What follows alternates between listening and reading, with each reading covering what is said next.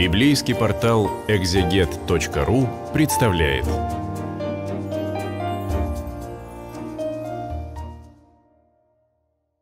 Здравствуйте, друзья!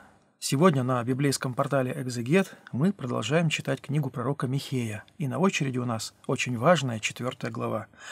В этой главе продолжаются пророчества Михея о Вавилонском плене, а также э, о тех временах, которые наступят после плена, как в ближайшей перспективе, так и в отдаленной мессианско-эсхатологической. И будет в последние дни. Вот это в последние дни – это э, день Господень, э, также у других пророков.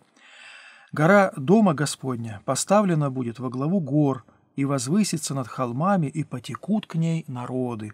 Гора Дома Господня – это та гора, на которой располагался Иерусалимский храм, как первый храм Соломонов, так и второй храм, построенный уже э, вернувшимися из Вавилонского плена иудеями. И пророчество продолжается. «И пойдут многие народы и скажут, «Придите и взойдем на гору Господню, в дом Бога Иаковлева, и Он научит нас путям Своим, и будем ходить по стезям Его». Здесь а, говорится о том времени, когда все народы придут, стекутся к Иерусалиму, ибо а, дальше говорится «от Сиона выйдет закон, и слово Господне из Иерусалима». Тора выйдет из Сиона, из Сиона, от Сиона. А, Мицион Тора ТЦ. И слово Господне из Иерусалима э, стоит параллельная фраза к предыдущей. Эти времена, мессианско-эсхатологические, о которых говорит пророк Михей, во всей своей полноте еще э, ждут своего, э, своего исполнения. Эти пророчества ждут своего исполнения. Но начали они исполняться, когда воплотился Сын Божий и родился Господь наш Иисус Христос в Вифлееме. Об этом мы будем читать в следующей, очень важной также, пятой главе. Вот здесь говорится о том, что все народы перестанут э, блуждать по своим путям. Они от, от, отставят своих идолов, отвергнут и э, стекутся к горе Сиону, к Иерусалиму, туда, где э, Святой Град и где Дом Господень, и где происходят самые главные события не только для израильского народа, но и для всего человечества. Не случайно Иерусалим называется Святым Градом. А, святой – это значит отделенный Кадош. А град, отделенный из, от всех других городов. Его, этот город, святой город Иерусалим, отделил для себя Господь. Это его Господний город, град Божий. Здесь, э, в этом пророчестве, звучит э, то же самое, что мы читаем в книге пророка Исаии. Следует заметить, что у Михея достаточно много параллелей с Исаией. Они были современниками. Только Исаия жил в Иерусалиме, в столице Иудейского царства, а Михей был, если так можно сказать, провинциалом. Он происходил, как мы уже говорили, из э, селения Морешет или Морешет-Гад или Мореша. Разные названия, по всей видимости, одного и того же а, селения в долине Шфела между современным Иерусалимом и современным а, Аждодом, может быть, или Тель-Авивом. Народы эти стекаются на гору Господню, в дом Бога Иаковлева. Иаковлева, то есть Израиля. Иаков и Израиль – это два имени одного и того же народа, народа израильского. Когда-то на всей земле был один единственный человек, который поклонялся истинному Богу, поклонялся Всевышнему, Творцу неба и земли. Это был Авраам. И когда-то был поставлен в Святой Земле первый жертвенник. Об этом мы читаем в 15 главе книги «Бытие». После многих-многих поколений, веков идолопоклонства, которые были до Авраама, Авраама первого призвал Господь, он оставил своего отца, отечество свое, идолов своих родовых, и пошел туда, куда его позвал Господь. Пошел в ту землю, которой впоследствии из Ханаана суждено было стать святой землей, землей Израиля. Сегодня, пожалуй, две трети населения Земли являются единобожниками, а, то есть а, отвергли своих идолов, как когда-то Авраам, и а, стали служить Богу, и если не физически, то духовно они взошли на эту гору Сион, получили закон и Слово Господне из Иерусалима. Так называемые авраамические религии, в которую входит и наша христианская, а, это уже те народы, которые уже взошли. Но окончательно это пророчество еще, видимо, ждет своего исполнения в той эсхатологической перспективе, в те так называемые последние дни, как здесь говорится в начале 4 главы, и будет в последние дни. А, тогда уже все народы, сколько их есть, тысячи народов, населяющих нашу планету, а, отвергнут свои заблуждения, своих идолов, и будет единая вера, единая вера – в Бога и Христа Его. Читаем дальше. «И будет Он судить, то есть Он, то есть Бог, и будет Он судить многие народы и обличит многие племена в отдаленных странах, и перекуют они мечи свои на орала и копья свои на серпы, не подымет народ на народ меча и не будут более учиться воевать». То же самое мы читаем во второй главе книги пророка Исаии, почти э, полностью, буква в букву совпадают эти пророчества. Отдельные, может быть, какие-то черты а, текстуальные а, не совпадают. Есть какие-то мелкие, совершенно незначительные различия. Но, в общем-то, это одно и то же идентичное пророчество, что и у Исаии.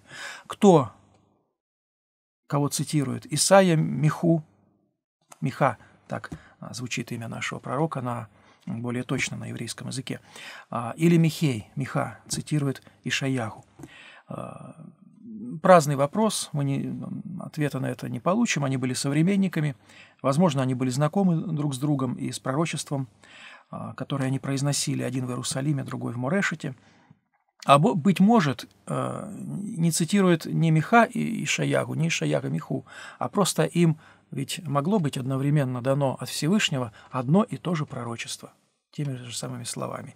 Они ведь не свои слова изрекают, но так говорит Господь. И дальше изрекают божественное слово. Каждый, читаем в четвертом стихе, будет сидеть под своею виноградной лозою и под своей смоковницей, и никто не будет устрашать их, ибо уста Господа Саваофа изрекли это. Эсхатологическое время, последние дни характеризуются у пророков тем, что э, будет восстановлено и единство народа, и город, и храм, и вся э, страна Израиля, святая земля будут благоденствовать, будет э, время невероятного изобилия, благоденствия, счастья, долголетия, в общем, то, что мы называем благоденственное и мирное житие. И никто не будет лишен этого благоденственного и мирного жития из тех, кто притек к горе Сиону, как э, мы читаем выше. Мечи свои тогда все народы, а именно о всех народах идет речь во втором стихе. Вот в третьем стихе эти все народы, они, как и у Исаии во второй главе, перековывают мечи свои на орала, то есть на плуги, на лемехи плугов, а копья свои на серпы. Э, здесь в еврейском тексте присутствует термин, который можно перевести также «садовые ножницы». Перекуют свои копья на садовые ножницы. Не будет больше военных училищ, военных академий, люди не будут больше учиться воевать, будет мирное и благоденственное житие. И каждый будет сидеть под своей виноградной лозой, под своей смоковницей. То, что отобрали когда-то вавилоняне, все эти сады вновь вернутся, и у каждого будет своя смоковница и своя виноградная лоза. Очень часто эти образы присутствуют и у других пророков, и не только у пророков, но вообще в Священном Писании. Такое безмятежное время под э, руководством Мессии, когда единый Бог и единый Машиах, единый помазанник его, единый Христос, э, и, нет больше врагов, мир – и каждый наслаждается мирным и благоденственным житием. Ну, а дальше пророчество продолжается, и уже не столь оптимистично оно звучит. «Ибо все народы ходят, каждый во имя своего Бога». То есть во время пророка, во время, то время, когда жил пророк Михей, все народы еще ходили во имя своих богов. Ложных, конечно же, выдуманных, те, которые часто называются суетой в Священном Писании, э, ходят вместе со своими суетными богами. А, об этом мы можем сказать и сегодня, что во многом это так. Остались народы идолопоклоннические. Да, и, к сожалению, следует сказать, что на втором тысячелетии истории Руси в наши дни, в 21 веке, к сожалению, остались и среди нашего народа те, кто ходят, а, те, кто не притекли к горе Сиону и не научились из Иерусалима закону Господню, и не приняли Христа, а ходят еще по а, путям ложным, ходят, как здесь сказано, во имя своих богов. У, у каждого свои боги. Покойный Иосиф Кобзон, например, говорил, что его мама для него является единственным божеством, в которое он верует. Несчастный. А мы, говорит пророк, будем ходить во имя Господа Бога нашего во веки веков. Противопоставление. Пусть все народы ходят ложными путями. Когда-нибудь, в отдаленном будущем, они придут к Богу, они придут к Сиону, они научатся Торе Господней. Вот. А мы уже сейчас, говорит Михей, за себя и за свой народ иудейский, мы сейчас, говорит, уже будем ходить во имя Господа Бога нашего во веки веков. Блаженны те, кто ходят пред Богом, а точнее с Богом, как Енох, как Илья, как Михей, даже в самые трудные времена, когда государственная политика Израиля или Иудеи была идолопоклоннической, эти пророки и часть народа, не преклонявшая колен пред Ваалом, как сказано в книгах царств, ходили во имя Господа Бога своего. Ходили во имя того, кто сотворил небо и землю, кто призвал Авраама, кто вывел из земли египетской свой народ, кто под руководством Иисуса Навина вел а, освободительные от хананиян войны, насадил Израиля словно плодовитую виноградную лозу в той земле, которая поэтически называется землей, текущей молоком и медом. Вот там, в святой земле Израиля, пророчествует Михей, изрекает свои пророчества. Пророчества это не всегда радостные, не всегда а, такие торжественные, как в первых стихах 4 главы, которую мы читаем. В тот день, читаем в шестом стихе, это Айом Агу, это то же самое, что День Господень. А, этот термин а, в тот день встречается чаще, чем термин «день Господень».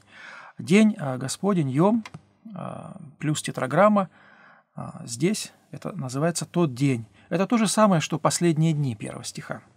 Так вот, в тот день, в день мессианского эсхатологического будущего, в день реставрации, восстановлений, этот день может быть растянут, растянут на века и даже тысячелетия. Тот день начал сбываться, когда народ возвращался из Вавилонского плена.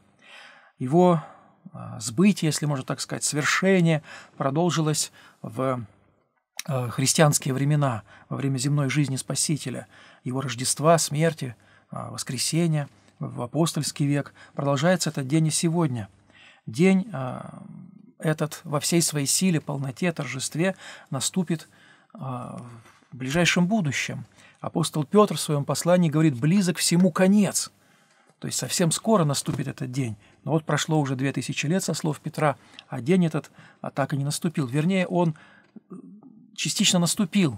Какие-то пророчества, пророчества, связанные с Днем Господним, с тем днем, с последними днями, они уже исполнились исполнились в событии Христа во время Его первого пришествия.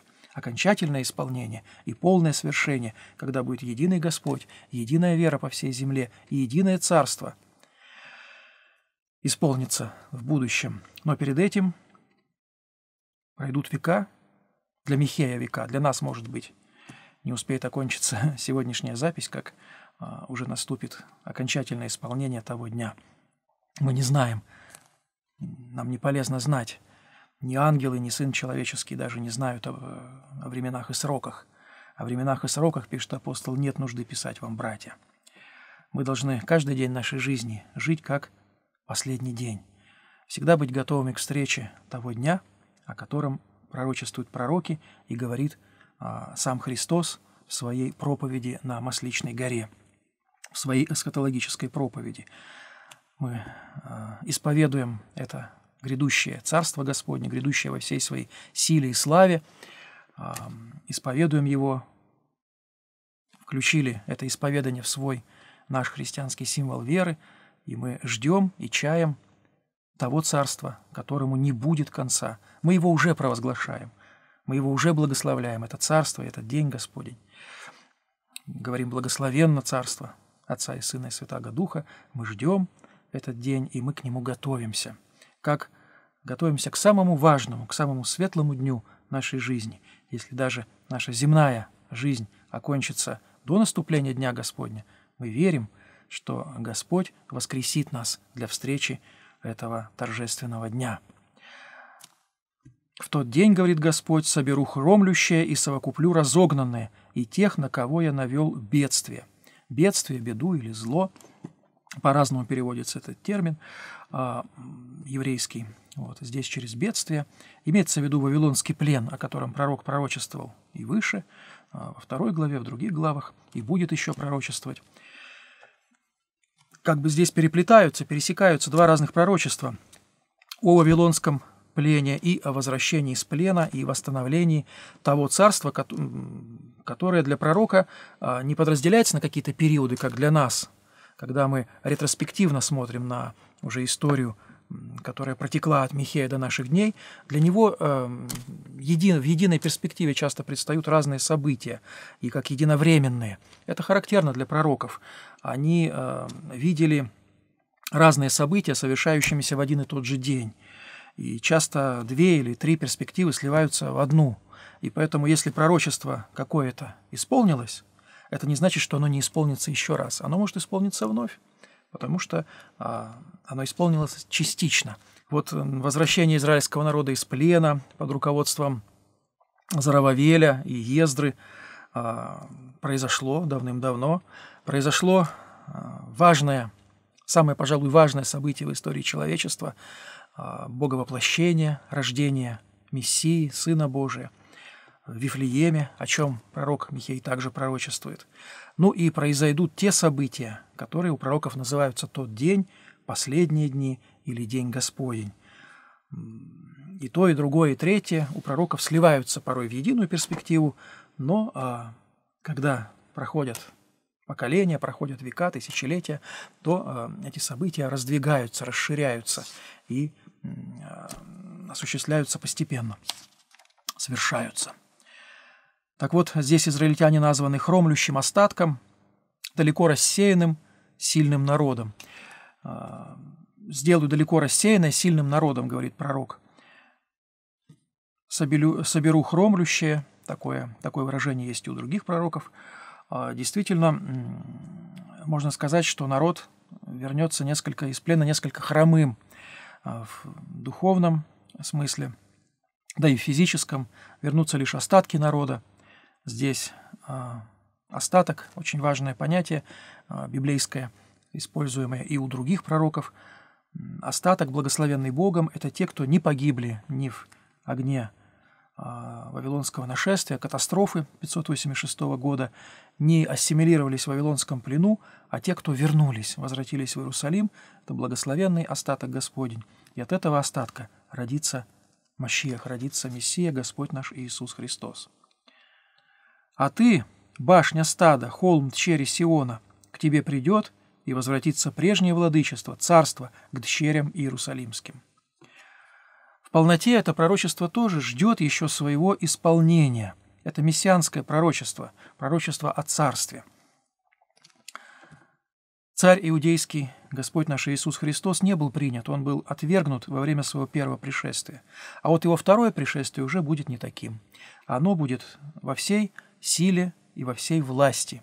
И тогда не останется больше на земле царств государств, но будет единое царство Гос Господа и Христа Его. И вот это царство здесь пророк провозглашает, проповедует и о нем говорит.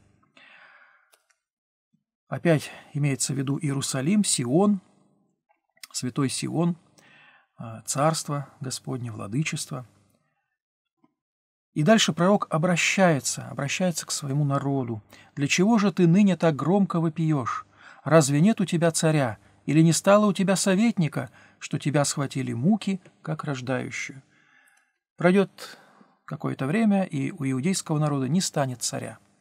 Последний царь, последний помазанник на престоле Давида, последний мессия, Давидит, а, умрет в плену вавилонском, его дети будут ослеплены на его глазах, а весь а, дом его, весь двор его, и все вельможи, и вся знать вместе с ремесленниками уведены будут в Вавилонский плен, и там умрут. Вернутся их потомки, возвратятся по, по окончании этого 70-летнего Вавилонского плена. А, часто а, муки, схватывающую, рождающую на свет младенца женщину, они, а, этот образ этих предродовых мук используется часто пророками для описания невероятной тяжести, невероятных трудностей, испытаний, в которым Господь подвергает свой народ – Часто эти испытания обрушиваются на народ как наказание за грехи, отступление от завета с Богом, за идолопоклонство, за социальную несправедливость в израильском обществе. Тяжкое наказание, вавилонский плен, еще более горькое, чем плен, пожалуй, это разрушение Иерусалимского храма, его сожжение вавилонянами. И вот это скитальчество, когда Израиль лишился всего, лишился последнего клочка земли и вынужден был провести не одно, а несколько поколений в Вавилонском плену, это все было промыслительно. Все в руке Божьей, и Господь это попустил, и Господь навел вавилонян на Израиль. И израильтяне оказались в плену, для того, чтобы из плена они вернулись уже другими. И действительно, когда мы читаем о послепленной истории Израиля, мы не видим у него больше тех искушений, какие посещали его до этого. Будут другого рода, другого вида искушения. А вот искушений идолопоклонством уже не будет. Во времена Захарии, Агея, Малахии, пророков после пленных, во времена Зарававеля, Ездры, Нехемии, а, мы не читаем о том, чтобы Израиль был уличаем в идолопоклонстве. А вот у всех пророков до пленных и времен Вавилонского плена – эти обличения в идолопоклонстве своего народа, народа израильского, они присутствуют. Этот плен был прививкой израильтянам, прививкой против этой заразы идолопоклонства и почитания ложных богов и поклонению единому истинному Богу недолжным образом. Есть два аспекта у того, что называется аводазара или идолопоклонство.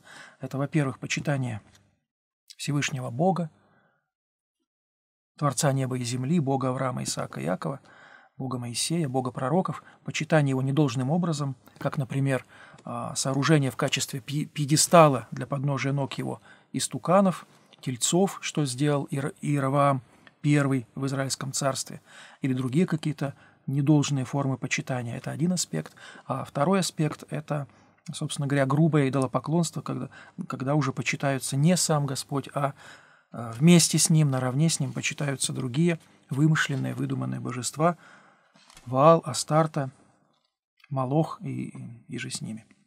Продолжаем читать четвертую главу книги пророка Михея. Башня и стада, которые мы только что прочитали в восьмом стихе, а, называется здесь тоже Иерусалим, Сион, подобно сторожевой башне, сторожевой башне а, пастушеской, в которой пребывает пастух во время непогоды – а, пастух, который пасет стадо овец, например, мелкого рогатого скота. Здесь ведь и, сам Господь часто уподобляется пастырю. Господь – пастырь Израиля. Пастырь Израиля в Немли, читаемый в псалмах, или а, в более известном псалме «Господь – пастырь мой, я ни в чем не буду нуждаться».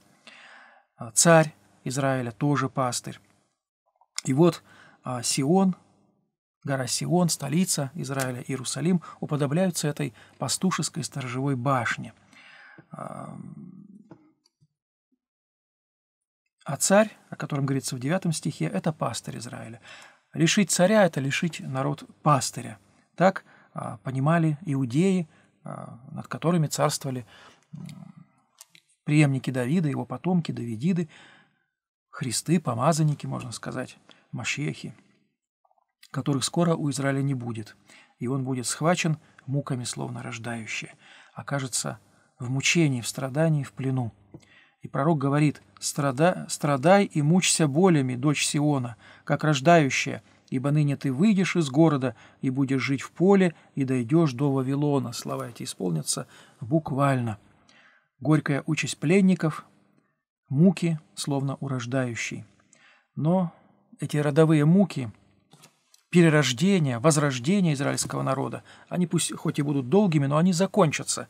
И, как мы читали в предыдущих стихах этой четвертой главы, наступят другие времена. Муч... Мучениям придет конец, и в новых поколениях уже, поколениях тех, кто возвратится из плена, этих мучений не будет, а будет благоденственное и мирное житие и радость. И изобилие. Там, то есть в Вавилоне, будешь спасена. Там искупит тебя Господь от руки врагов твоих. Очень важная, а, очень важная концепция искупления. Она присутствует у пророков, и чем ближе к Вавилонскому плену и в самом Вавилонском плену а, эта тема все, все громче и громче звучит. Господь выступает в образе Гоэля, мстителя за кровь. Когда убит кто-то, то его ближайший родственник должен отомстить этому человеку. Не случайно в Израиле а, заповедано было определять для невольных убийц города-убежища, чтобы там мог скрываться невольно убивший человека, пока утихнет гнев мстителя за кровь. И пока а, не сменится первосвященник, есть несколько там, обстоятельств пребывания в городе убежище невольного убийцы – и вот здесь Господь называется, а, говорится, что Он искупит, то есть Он назван искупителем, вот этим Гоэлем, мстителем за кровь. А, здесь а, также имеется в виду и выкуп раба. В рабстве оказался израильский народ, и Господь его из этого рабства выкупает из руки врагов твоих. Вот эти две идеи – мщение за кровь и искупление, то есть покупки раба, его освобождение этого раба – а, я полагаю, обе эти идеи присутствуют здесь, в 10 стихе. «А теперь, — продолжает пророк, — собрались против тебя многие народы и говорят, да будет она осквернена, и да наглядится око наше на Сион». Почему она? Потому что город Ир в еврейском языке женского рода. И Иерусалим, и все другие города, часть города Сион – это тоже а, слова женского рода. Поэтому она. Вот этот образ – женщины, город Иерусалим в образе женщины предстает в замечательном поэтическом тексте, очень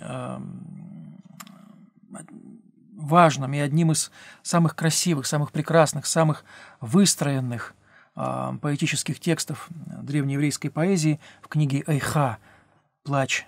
Называется эта книга «Плач Иеремии». И вот здесь тоже этот образ присутствует, образ женщины – Иерусалим – это женщина, она осквернена, женщина, захваченная в плен, над которой надругались враги. Уподобляется город этой женщине. А враги говорят, да будет она осквернена, и да наглядится око наше на Сион. Вот это вот злорадство, что Сион пал, и что храм сожжен, и что потомки Давида больше не царствуют в Сионе, в Иерусалиме – вот это злорадство, оно было не только у вавилонян, даже не столько у вавилонян.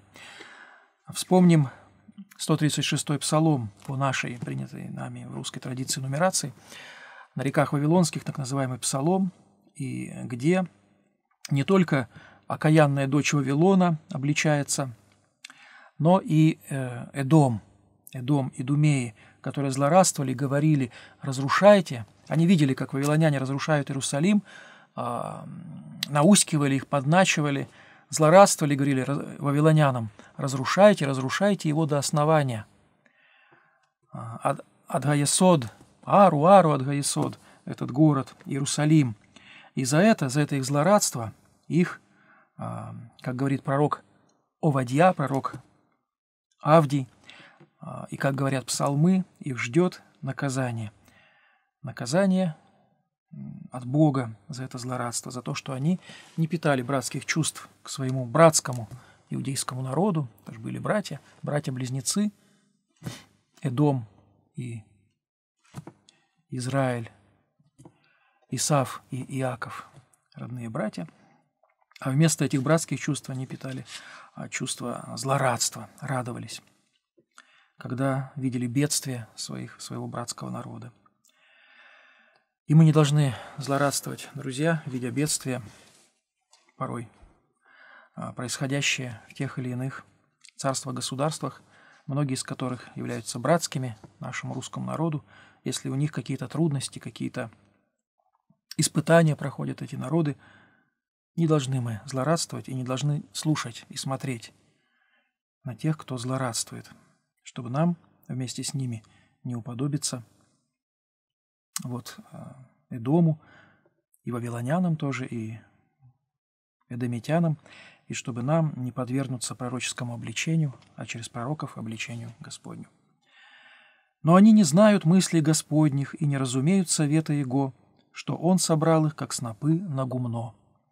Вот эти все народы, злорадствующие о гибели Иерусалима, о бедствии израильского народа, они будут собраны, словно снопы на гумно.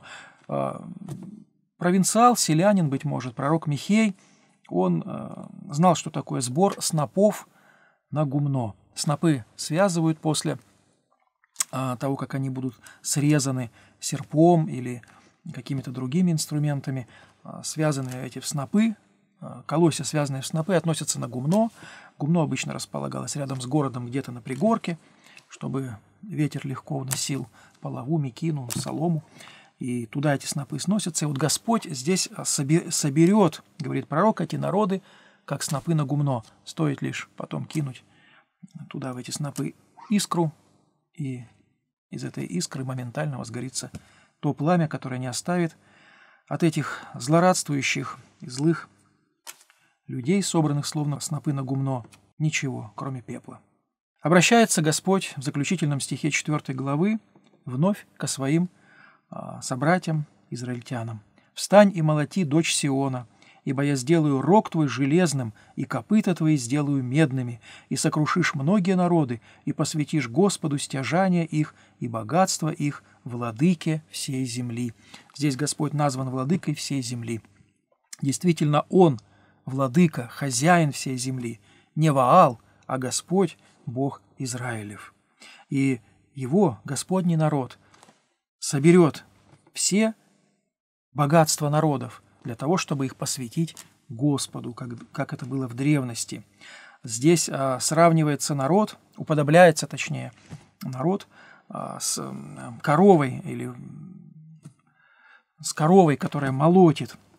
Вот эта вот молодьба на гумне молотят эти снопы, привязывают такой, а, такое, деревянное сооружение, которое снизу а, в которой снизу э, воткнуты разные острые металлические, чаще каменные предметы, небольшие камни. И с помощью этого, вот с помощью этих деревянных, больших деревянных досок а, с вставками каменными э, происходила молодьба как раз на гумне.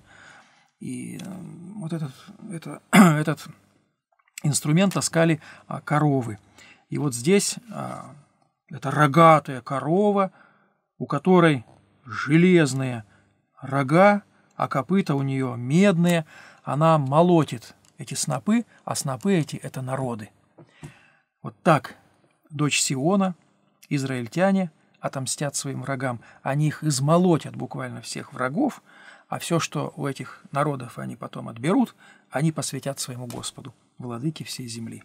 Пророчество Михея – важное пророчество и о Вавилонском плене – о наказании и о возвращении из этого плена и восстановлении, реставрации будут продолжены в следующих главах книги, в которой мы вернемся. Запись делается для библейского портала «Экзегет».